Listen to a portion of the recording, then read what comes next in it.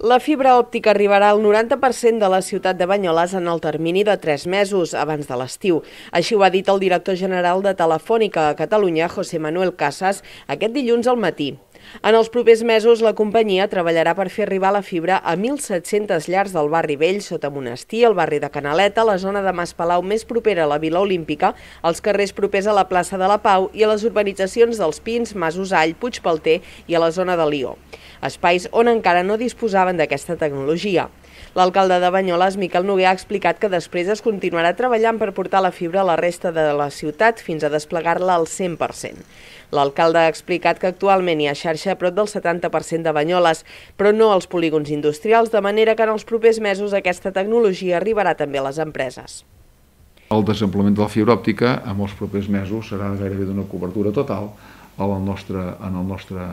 municipi, tant pel, fa, pel que fa a les llars eh,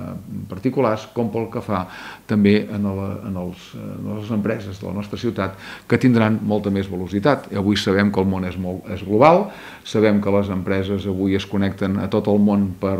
per qualsevol, per, per, per, no només per les comandes, sinó a vegades pels planells, a vegades per qual, tot es passa avui per, eh, per, la, per la xarxa, tot, eh, quanta més velocitat de fibra, més efectives també eh, són les empreses i per tant des d'aquest punt de vista això també quedarà cobert.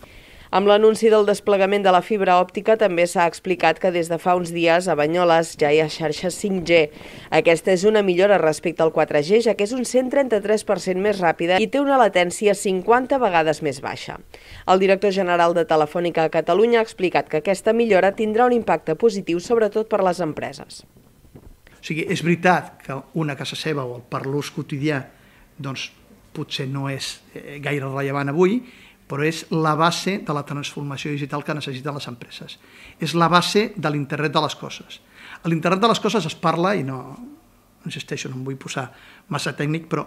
es diu que és la propera revolució, revolució que és la l'eina principal de la revolució digital. I l'eina que necessita l'internet de les coses, el IoT que es diu en anglès, Internet of Things, és el 5G. Perquè el 5G el que fa és temps de resposta molt, molt, molt ràpid, banda ampla mòbil eh, 133% i encara pujarà més, més que el 4G, i sobretot una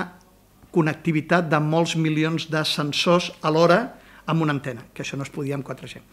La xarxa de fibra òptica de Telefònica se suma a la que està desplegant la Generalitat a través de la Via Verda i que també passa per Banyoles i el Pla de l'Estany.